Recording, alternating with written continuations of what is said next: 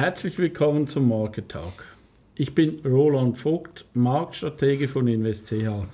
Mit mir im Studio ist Vivian Sparenberg von der Bank von Tobel und Rafat Achuri, Chief Investment Officer von Larema. Wir sprechen darüber, welche Chancen sich an den Märkten bieten und mit welchen Werkzeugen man die umsetzen kann. Wir duzen uns der Einfachheit halber. Vivian, was ist dir die vergangene Woche bei den Marktaktivitäten aufgefallen? Die Marktaktivitäten letzte Woche waren eigentlich schon relativ gleichgewichtet. Die Investoren haben sich sowohl auf der Long- als auch auf der Short-Seite hier positioniert. Ähm, vor allem in Hebelprodukten. Die Anlageprodukte haben sie immer noch ein bisschen ähm, gemieden. Nicht so schlimm wie zum Beispiel im Mai oder Juni. Da ist der Anlageseite schon relativ äh, wenig investiert worden. Ähm, aber hier hat man schon gesehen, dass Long und Short sich relativ gut ausgeglichen haben, aber doch eher auf der Daytrader-Seite. Also sie haben eigentlich ihre Position am Ende des Tages dann geschlossen. Hm. Also wo du merkst, dass, ähm, dass die Umsätze schnell gehen, dass die Positionen wieder zurückkommen, dass das Trading-Positionen sind. Äh, Hat es jetzt heute am Montag da schon etwas Veränderung gegeben? Die Erholung läuft ja jetzt schon weiter. Ähm, also am Montag war es noch nicht so ersichtlich, was jetzt los ist oder wie die Positionen sind, weil der Tag ist noch nicht gelaufen. Ähm, aber es scheint schon ein bisschen positiver zu sein als jetzt ähm, Anfang Juni beispielsweise. Gegen Ende der vergangenen Woche haben die Märkte etwas an Trittsicherheit zurückgewonnen. Der Abwärtstrend scheint kurzfristig am Rande seiner Leistungsfähigkeit zu sein. In den Kursgrafiken zeigen sich die üblichen Anzeichen einer übersättigten Situation. Wir sehen das beim DAX, SP, auch beim SMI. Unsere Modelle gehen davon aus, dass wir eine Erholung sehen, so in der Spannweite 5 bis allenfalls 8 Prozent. Mir persönlich ist es ja schon etwas mulmig im Markt, aber beim Kaufen ist das ja bekanntlich auch besser als Euphorie. Rafa, wie ist deine persönliche Einschätzung jetzt zu den Märkten so im Mehrwochenbereich? Also wir haben das auch wahrgenommen, dass äh, die Abwärtsdynamik in den Aktienmärkten sich erschöpft oder erschöpfte letzte Woche. Wir denken aber, dass wir noch nicht ganz aus, dem, aus diesem Tumult draußen sind. Wir denken, das war jetzt erstmal ein erster Schritt, der primär liquiditätsgetrieben war, diese Korrektur in den letzten Monaten. Wir sehen aber durchaus auch dunkle Wolken aufziehen bezüglich der wirtschaftlichen Aktivität was die einbrechen könnte, was dann zur Folge hätte, dass die Unternehmensgewinne stark zurückkommen würden. Also wenn ich das richtig verstehe, du gehst jetzt davon aus, dass so eine Erholung kommt, aber dann auch wieder ein neues Thema, was neuen Druck auf die Märkte verursacht. Ja, genau. Also ich denke, die Rezessionswahrscheinlichkeit ist sicher sehr stark gestiegen und wir sehen das auch an den Inputpreisen, wie hoch der Druck auf die Margen der Unternehmen ist heute ist und dies wird, äh, wird einen negativen Effekt auf die Unternehmensgewinne haben. Und ich, ich denke, dass dies könnte zu einer Teil 2 dieser Korrektur führen. Vivian, wie ist dein Gefühl jetzt bezüglich dieser Erholung? Ähm, was siehst du da so als Thema äh, kommen? Also schon ziemlich schwierig. Gerade wenn man sich den Euroraum anguckt, ist natürlich auch die Ukraine-Krise hier im Fokus. Äh, wie Rafa auch schon gesagt hat, viel. Die Unternehmensgewinne werden unter Druck geraten. Es gibt nur wenig Unternehmen, die ihre ähm, Preise anpassen können, also eigentlich auch die Lieferkettenengpässe oder die Rohstoffpreise weitergeben können. Da wird es schon das eine oder andere ähm, Einbruch wahrscheinlich kommen. Und in dem Sinne warten jetzt einfach auch viele auf die Erholung. Sie wollen jetzt auch langsam wieder ähm, diesen äh, Bullenmarkt einfach sehen, die sie auch jahrelang gekannt haben haben. Mhm. Ähm, aber die Korrektur war auch irgendwie notwendig, weil der Markt halt immer nur gestiegen ist. Ähm, Erholung auf der Trading-Seite sieht man jetzt vielleicht so ein kleines bisschen, aber man muss erstmal abwarten, wie es weitergeht. Ja, da wird es spannend, wenn die Halbjahresergebnisse kommen, äh, ob da die Erwartungen wirklich erfüllt werden oder ob da dann größere Enttäuschungen kommen. Ja, das würde dann auch für dein Szenario mhm. irgendwo sprechen. Also ich denke, so in ein, zwei Wochen wird es bestimmt wieder sehr interessant und angespannt werden an den Märkten. Ja.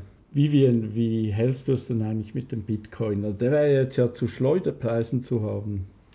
Ja, Schleuderpreise sind richtig. Anfang des Jahres ungefähr 50.000, jetzt bei 21.000. Also da kann der ein oder andere Investor, der vielleicht mal gewartet hat, jetzt doch zugreifen und den Dip hier kaufen, wenn nicht noch äh, einige andere kommen. Ähm, am Endeffekt sind Bitcoin-Investoren äh, schwarz und weiß zu sehen, wenn man es einfach mal so sagen ja. darf.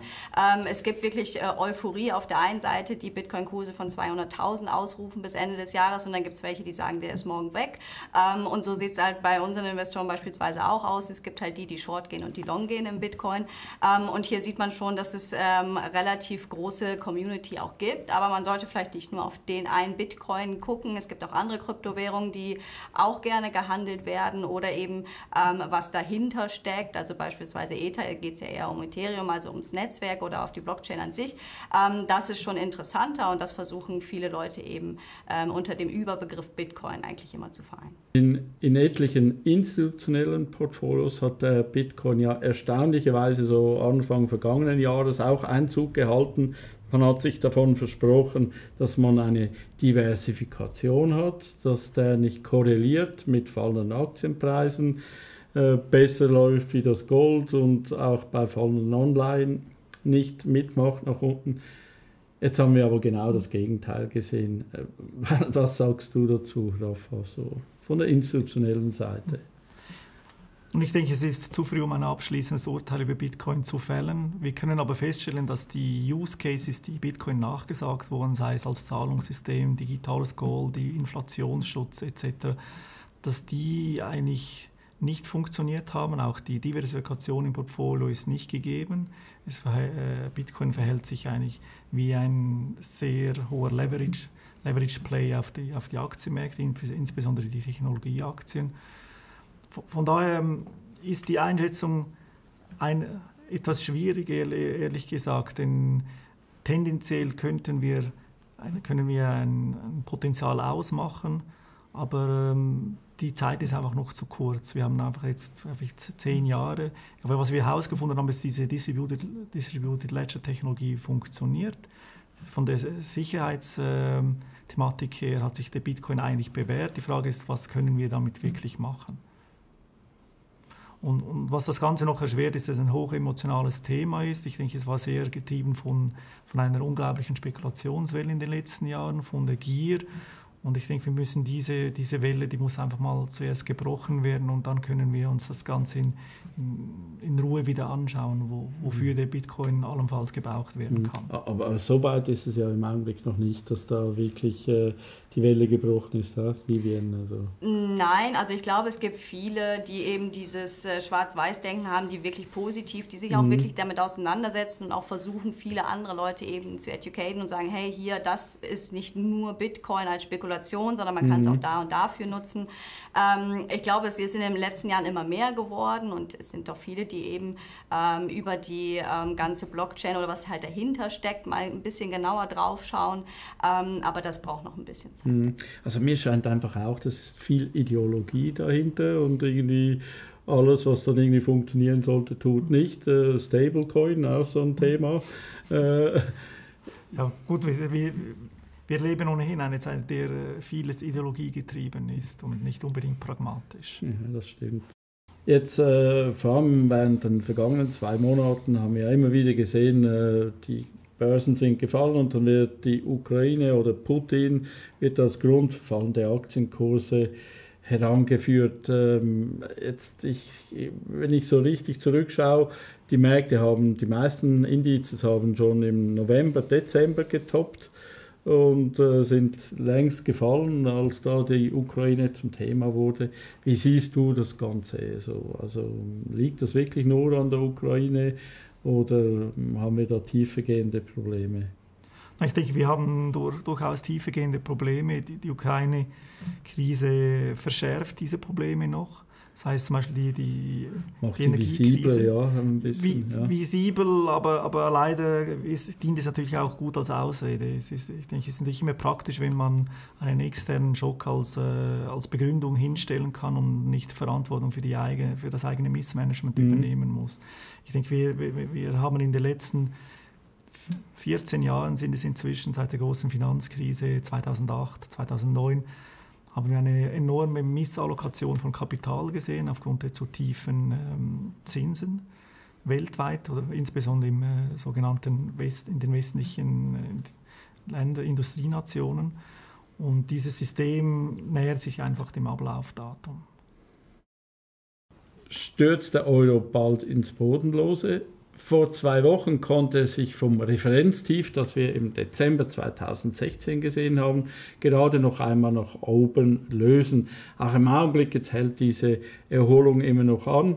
Aber eben, Erholung ist Erholung und ähm, meiner Ansicht nach sieht es aber darüber hinaus betrachtet eben nicht gut aus.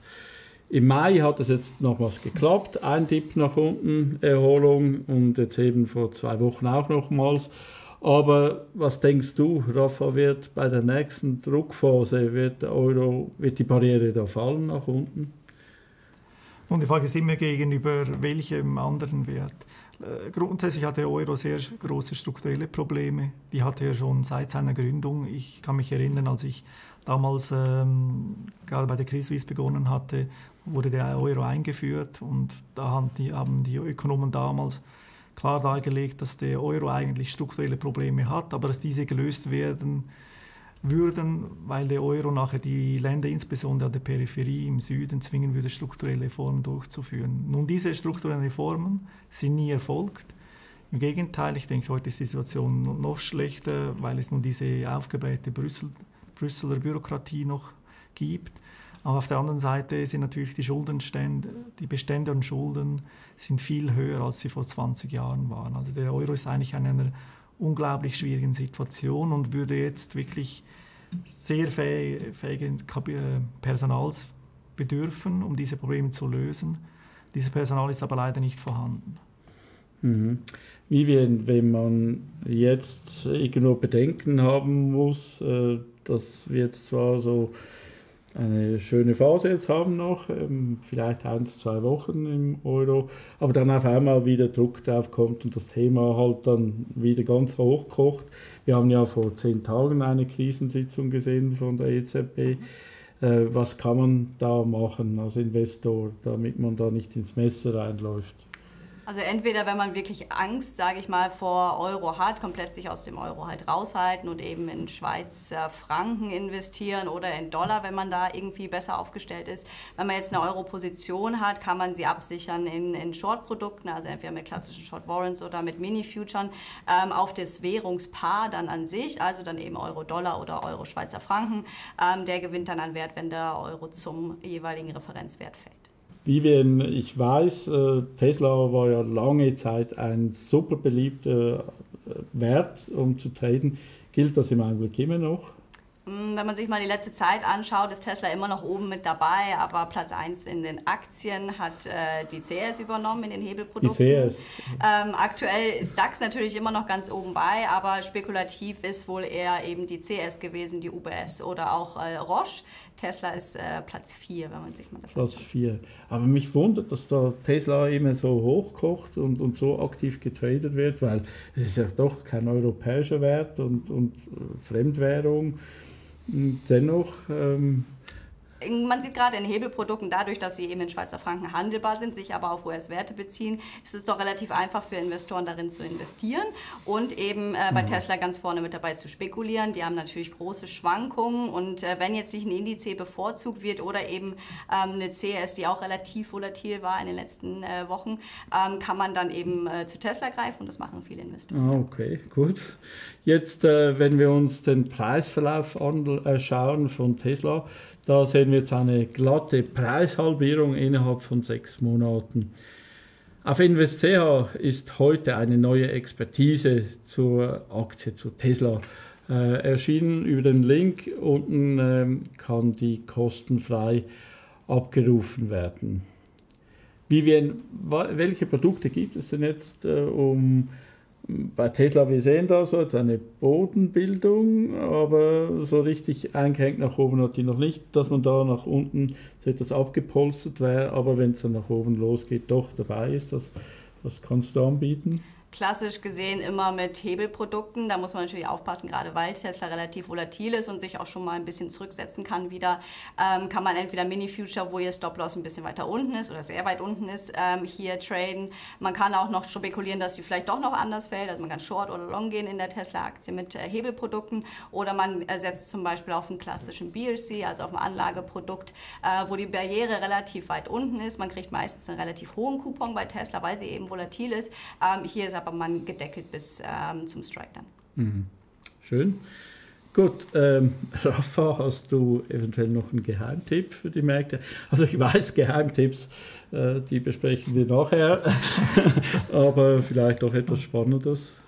Ich, ich denke, wir leben eine Zeit mit sehr vielen tektonischen Verschiebungen und Strukturverschiebungen. Und ich denke, jeder Investor muss sich wirklich fragen, werden die nächsten Jahre ähnlich sein wie die letzten fünf oder die letzten zehn Jahre? Und ich, wir gehen davon aus, dass es dem nicht so sein wird.